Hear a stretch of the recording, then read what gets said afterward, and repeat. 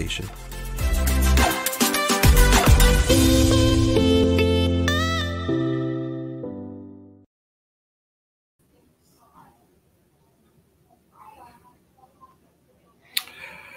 All right. Good evening, everybody. There we go. I believe we are live. I think we're live.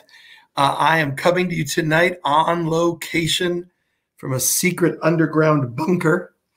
Um, not really, but I'm not in studio, as you can tell. And uh, somebody let me know if you can see me and hear me because uh, it's a little bit of a different setup. I'm not even on my own laptop. I see Deborah Lester and Daniela and Denise uh, and others. So somebody tell me if you can see me. And uh, there we go. Okay. We see you and hear you. Fantastic. Hey, everybody. Mike Wolf in Orchard Park. Mike Wolf is doing such an incredible job with our young adults. We're super proud of him. Denise, Trisha Miller is still there in South Florida. Trisha, you're you're making, you're letting this vacation last for a long time. David Nieto, the uh, president and owner of Living Springs Water, a fantastic fresh water company. If you're anywhere in the tri state area, he's based in New Jersey, but they service the entire tri state area. And uh, great to see you, Carol Moreau, June Brooks from Bolingbrook, Illinois, Kristen Anderson Rains from Alabama, and uh, just folks in from everywhere. All right. Uh, all right. Uh, Terry, Josh is out there, Pastor Josh Ogle, who we just are so proud of. Uh, we, we, uh, Josh's beautiful family. Um, they're just such an incredible kingdom family, and we're so proud of them out there. So, uh, hi, mom. Good to see you, mom. Love you. Miss you, mom. Wilmington, Delaware is with us. David Kraus. You know, seeing David Kraus on makes me think, everybody. Um, I'd like us to have a, a, a little meetup in the near future to talk about Shabbat because increasingly more and more Christians are honoring and keeping Shabbat in, in some way. And um, we want to see how we can facilitate that and grow that and connect to that movement. And uh, so uh, we're going to be talking more about that. Joseph Timothy McBride, glad to know the classes have started back up. Yeah, there's David Nieto's uh, livingspringwaterllc.com for all your water needs in the tri state area. Pastor Craig Pridgeon, my brother. I love you, Pastor Craig. God bless you, sir. One of the greatest preachers in America today. Pastor Craig Pridgeon. You need to tune in and uh, to listen to this man of God speak. Well, uh, I'm with my boys. We're on vacation. We're in New York City today and uh, having a fantastic time. And uh, God is good all the time. And so we've come together. Uh, oy vey, what happened? Did something happen? I don't know that anything happened. Is everything all right? Somebody let me know that you can still see me. All right. Um, uh, we come together as we do week after week to study the Word of God. I love this, and I'm telling you the the discipline and the rhythm and the community of studying the Word of God together uh, is just fantastic. And we've learned this from the Jewish people. Torah Tuesdays, folks. If you were on Tuesday, we had a record high number on Tuesday. We had over a hundred people aggregate in the room live, and then of course it, it gets downloaded and people share it, etc. Um, uh, this is growing. This this this Jerusalem-centered Christianity is growing, and uh, we're so excited to have you here. If you're new tonight, if it's your first time, type in "first time" so that we can greet you. Maura Wall is here from New Holland, Pennsylvania. And uh, Sid and Ruth Cohen are here. What a great group. We've got a fantastic group tonight. All right, everybody, um, turning your Bibles to the book of Deuteronomy, we're going to go to chapter 21. I am so excited to have tonight with us um, a man you get around this this rabbi and you just sense uh, his love for truth his love for um, the the culture that the Word of God calls us to. Uh, how, the Word of God consistently draws us to our best selves, to our highest selves. Well, look at all these first timers. Oh my goodness. Kaylin McAllen, first time. Kristen Anderson Rains, first time. Kevin Robinson, first time. Wow. Fantastic. All these first timers. Jerusalem centered Christianity is the only authentic faith. That is from Tricia Miller, a PhD. That's an intense statement, beloved, but it's probably true. Much of modern uh, Western Christianity is, is an aberration from anything that Jesus or the Apostle Paul or the first century church would have understood. So, how do we get back to the roots of our faith? We are so excited tonight to welcome all the way from Hollywood, California, Rabbi David Baron. He is the rabbi of Temple of the Arts Synagogue. And uh, Rabbi Baron, we are thrilled to have you. And if we can bring the rabbi in, that would be awesome. Do I need to do anything on that? Uh, we've got this. Uh, there he is. Okay, there he is. There you are, sir. Can you hear me? Yes, I hear you fine. I want to thank you for welcoming me to this wonderful program. I've been here before and I'm really honored to be here with you, Bishop Stearns. And I want to take a minute to offer uh, thanks to God for you and the work you do in uniting our people. Our nation needs unifiers, not dividers. And you you take the lead on that. And, and I want to commend you and bless you for all, all the work you do. Well, Rabbi, you're you're very, very kind and uh, you know, for all of our listeners and, and participants tonight, a funny story is that Rabbi and I first met the very, very first time in Washington, D.C. at an enormous gathering. I think there must have been, Rabbi, at least 5,000 people there, maybe more. It was huge. And um, Rabbi had been invited to give the invocation for the evening and I had been invited to sing the national anthem. That's correct. And we met backstage, and it was a massive production. And we're kind of quickly saying hello to each other and and trying to be polite with each other before we walk it out onto this major platform.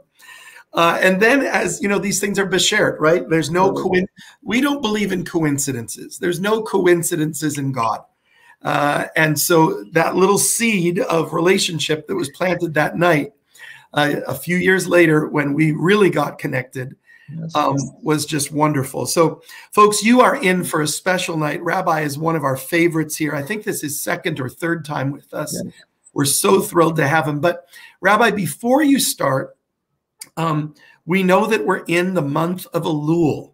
This is a very special month. This is the month of the year that every single day the shofar is blown, every single day during Elul. Correct. We are awakening our hearts. Uh, it's the day that the king is in the field. It's the day that Hashem, the Lord, draws near to his people in preparation for the high holy days. Uh, we're coming up to the 10 days of awe, days of repentance, days of our heart. We, we take a we take evaluation of our heart, etc. So this is a very, very um, spiritual season of, of the of the holy calendar, the sacred calendar. But Rabbi, speak to us because in a and you're going to have your special lectures, and I can't think of anyone better for everyone to tune into for the Rosh Hashanah lecture and these various other lectures. Uh, tell us a little bit about how people can tune in to your upcoming High Holy Days messages. Well, thank you. Um, we'll be conducting live services. We're one of only a few synagogues in the country that are going to do live services, COVID compliant, but also live stream. And we want people to join the templelivestream.com and tune in on September 6th and 7th for Rosh Hashanah and September 15 and 16 for Yom Kippur. And on Yom Kippur, it's a very powerful service. It mm-hmm. replicates many of the beautiful components of the ancient Holy Temple, and it involves opening your heart to forgiveness, which for some of us is one of the hardest things to do to mm-hmm. forgive someone who's injured us or hurt us. So this is a powerful time. It's a window of opportunity to reset the DNA for a new year and not carry old grudges and anger and animosity into the new year. And how do we do that? Well, you can't run a marathon by waking up one morning, putting on your running shorts and go run the marathon. You have to be in training. So this month of Elul is our training period for beginning to hear the sound of the ram's horn, which is the call to repentance to begin to focus and think about what we can do to correct mistakes and sins of the past, to realign with family members that we may have become alienated from, send an email or a message and say, hey, let's put the past behind, see if we can build a present and a future together. So, so it's a powerful time in the Jewish year. And as I said, I, I bring, I do what I guess is for me something I've loved doing. I give a living sermon.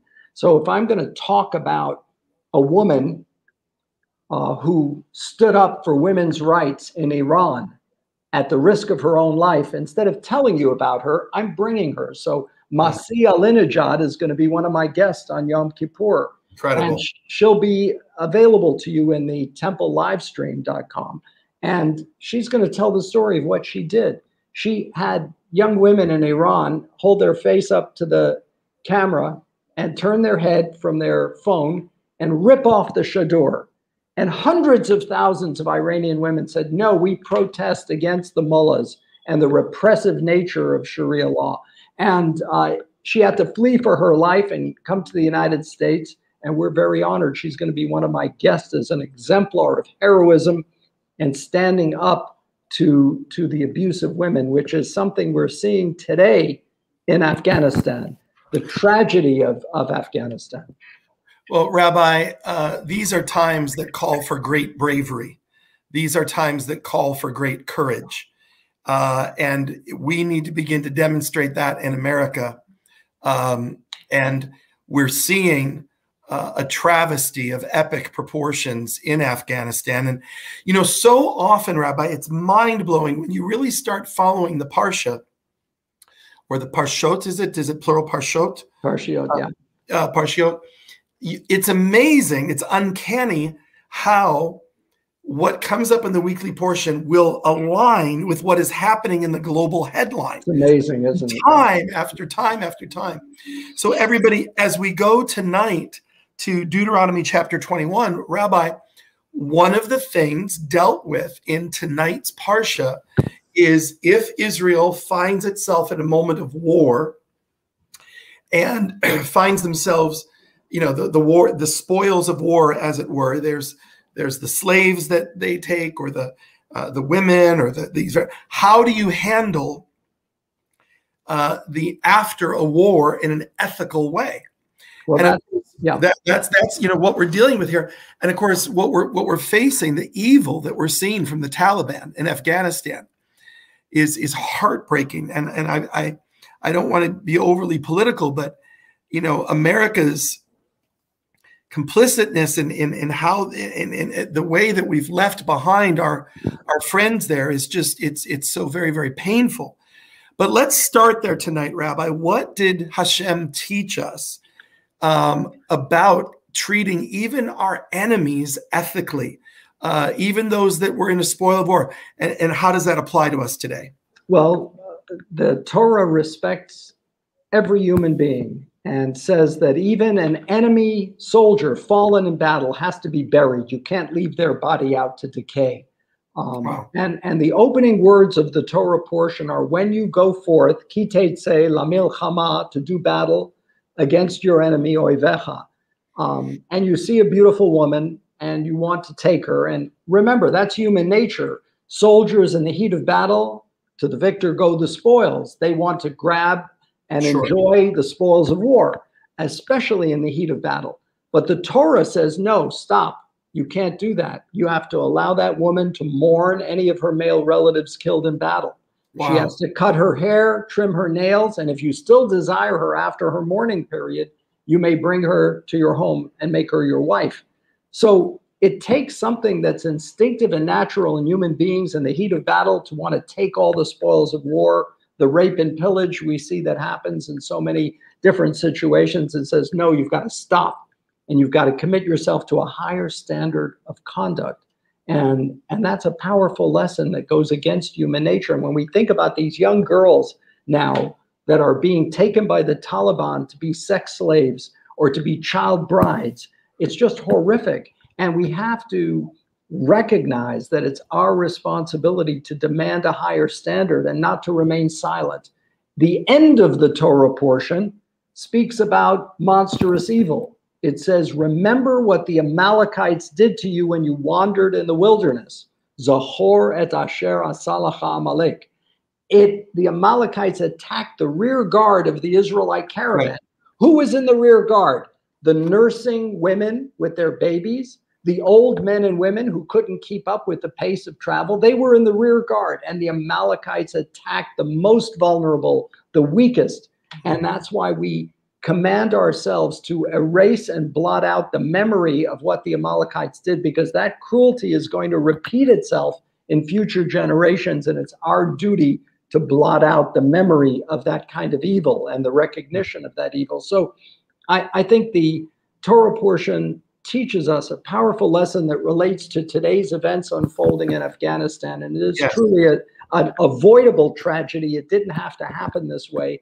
And um, the, the standards that should have been demanded of the Taliban were not demanded.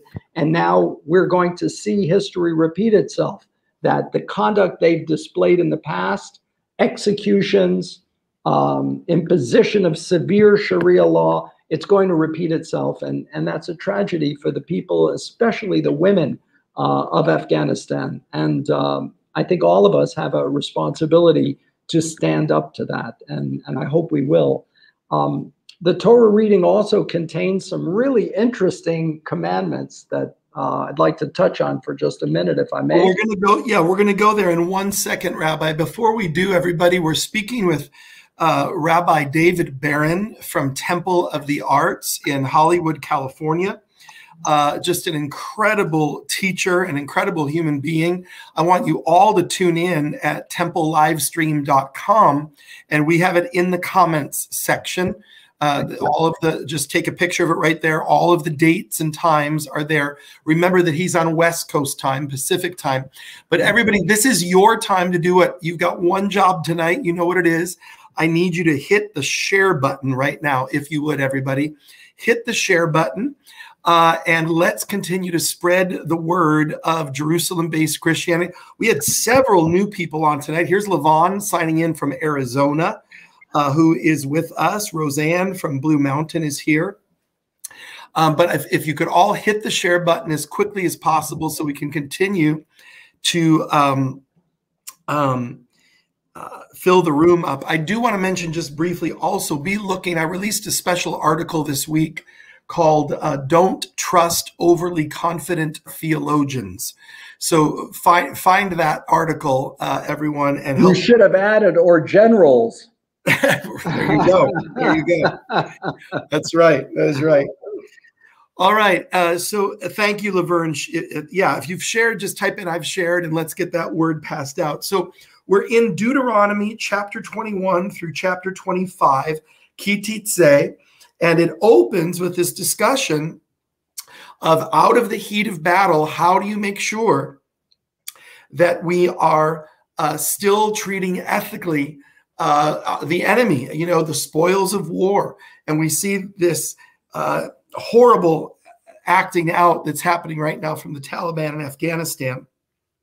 Um, Rabbi, take us deeper now into this Parsha uh, and bring us into some of these core principles. Well, the Torah here speaks about a number of different kinds of laws related to family relationships, sexual relationships. It also deals with marriage.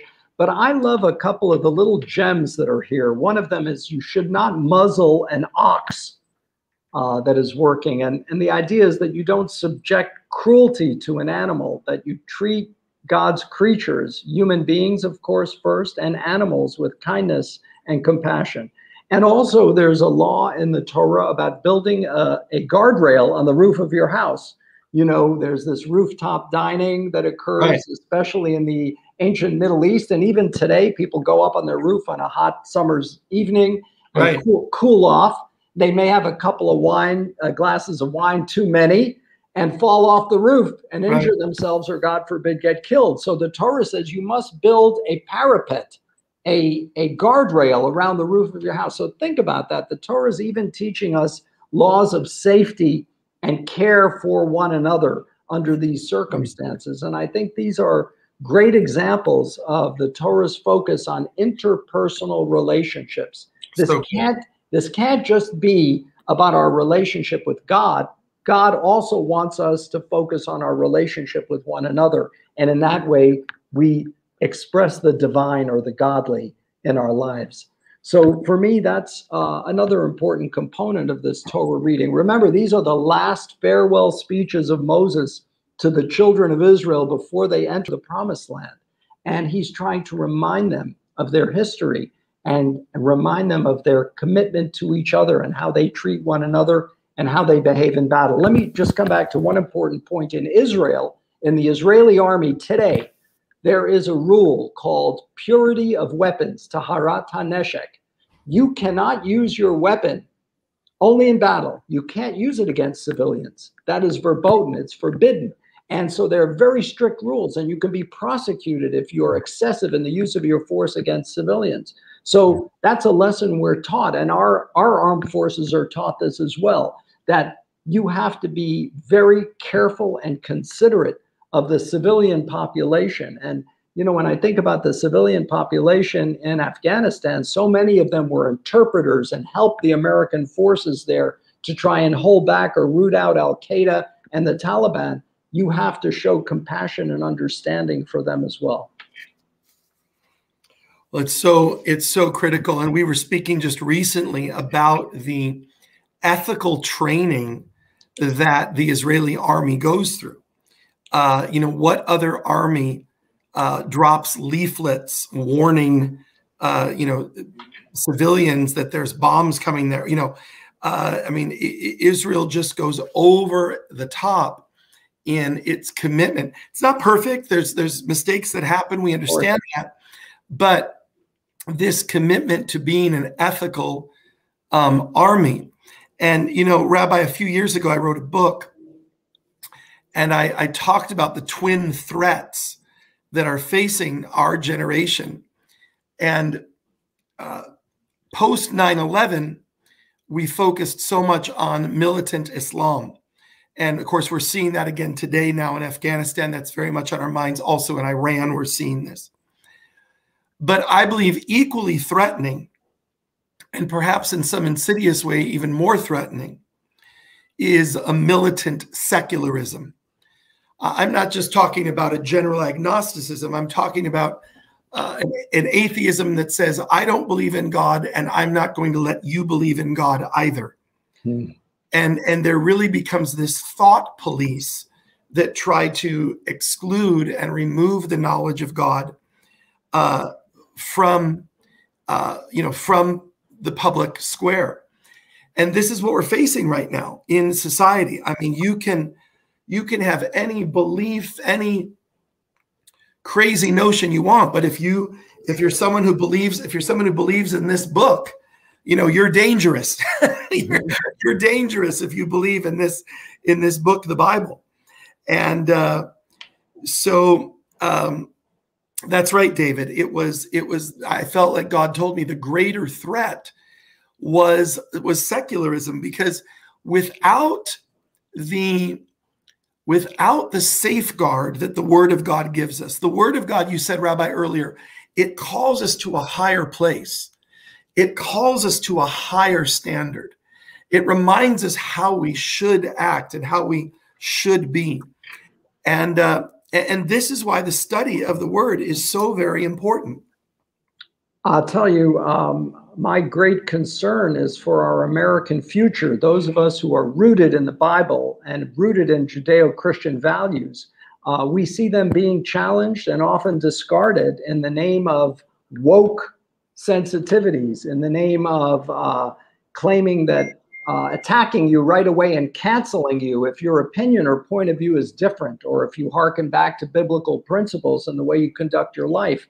And to me, we have to stand up to this. We, as people of faith, are called upon to stand up and take take a stand against this cancel culture, against this culture which will immediately label someone as a racist or or uh, and it's so interesting because uh, the people who are often behind these movements have an, a Marxist undertone, and if you know the principles of Marxism, religion is the opiate of the masses. So there's a condemnation of religious perspective of religious adherence, and I think that all of us have to open our eyes to see that and know that people who will often attack are attacking you for things that they are personally violating. So uh, the cancel culture ultimately will cancel itself if enough people of good conscience will stand up to it. And we're starting to see that happen in school boards, in local elections, where people are saying, no, I don't want to be uh, told that I'm a racist or I'm filled with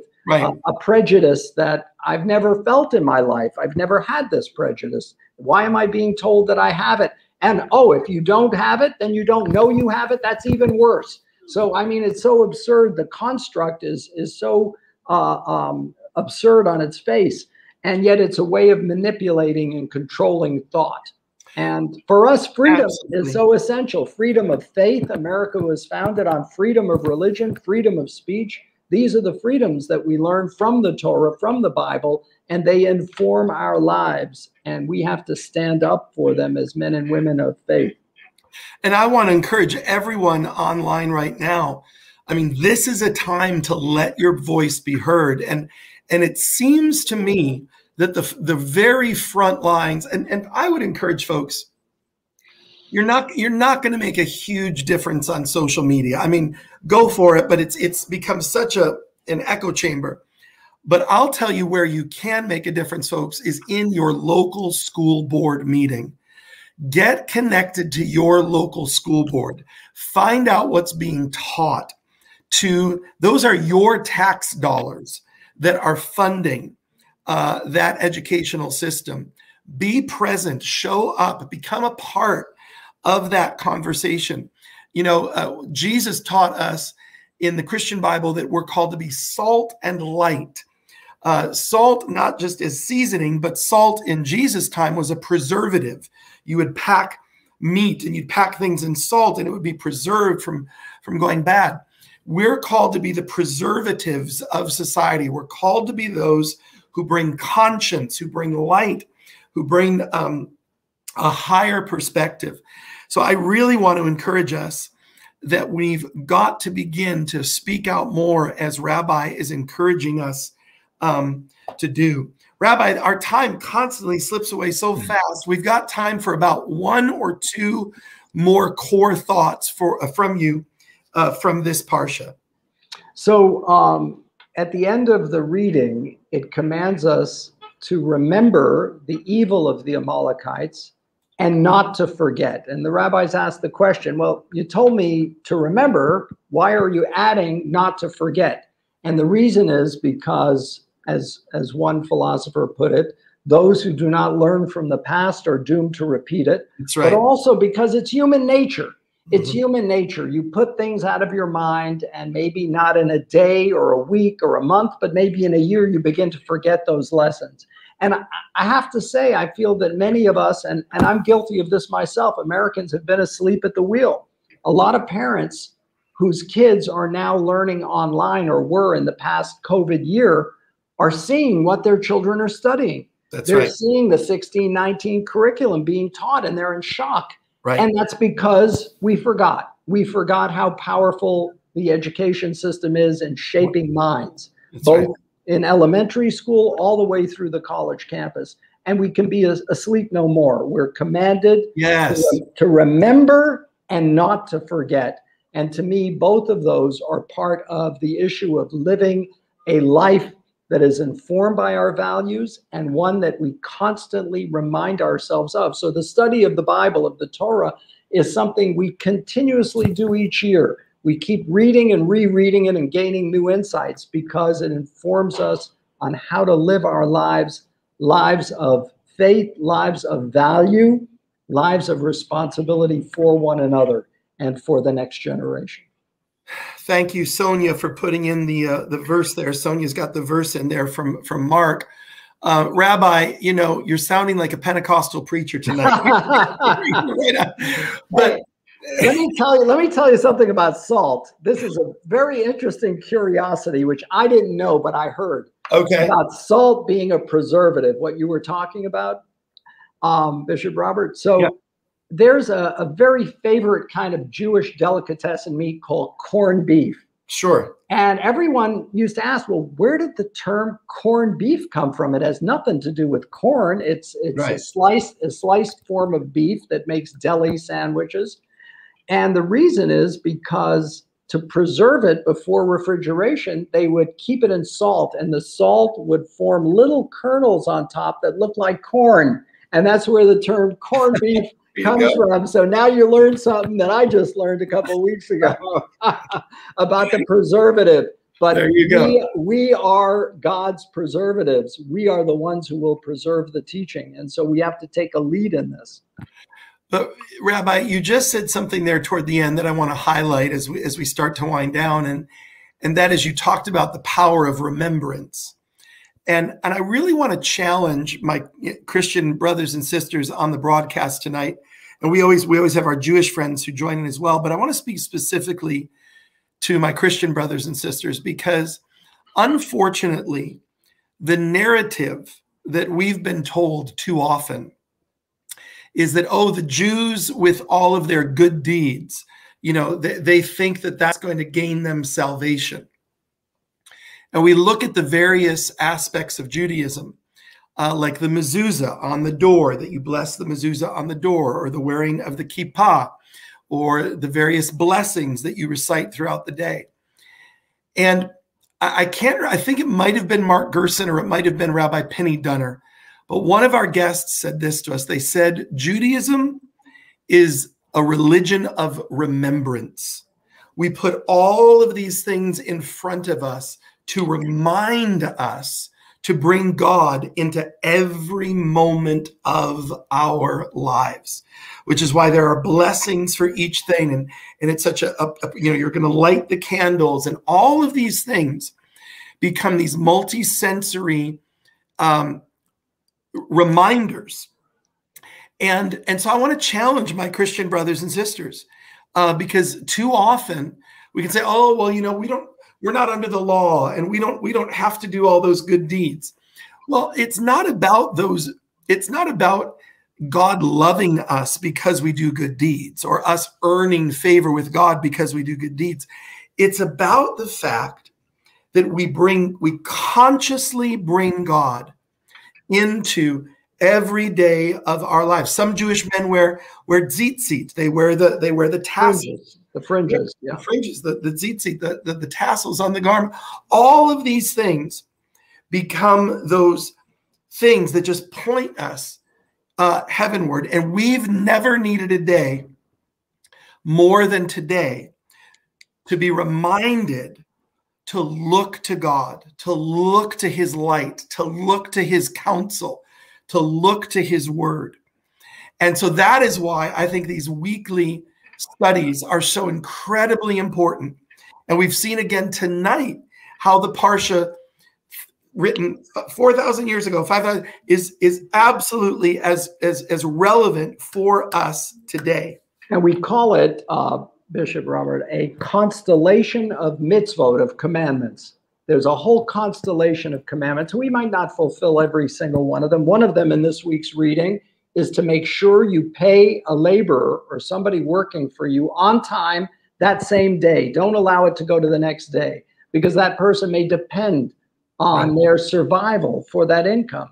And so it's so important that that this constellation of commandments makes us better people. Yeah, there are a few of us who are very highly evolved spiritual human beings, but most of us need the hardware. We need the equipment to help us fulfill God's mission for us, which is to be a light to all of humanity. So I hope I hope that's something we can take to heart, and I hope your viewers will join me on the Jewish New Year and on the we hear the shofar, the ram's horn awakening our consciousness.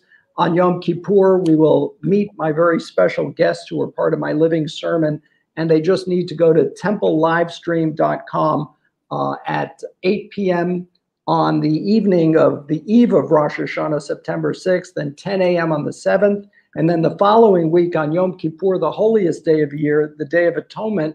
And that's again at 8 p.m. on September 15th and at 10 a.m. Pacific time on September 16th. I welcome all of the viewers of this program to, to come and join that live stream if they'd like to experience what the Jewish people engage in during these holy days of penitence. And uh, again, thank you to Ashley and Dina and the team. They've got it again in the comments. So it's run through the comments section several times, folks.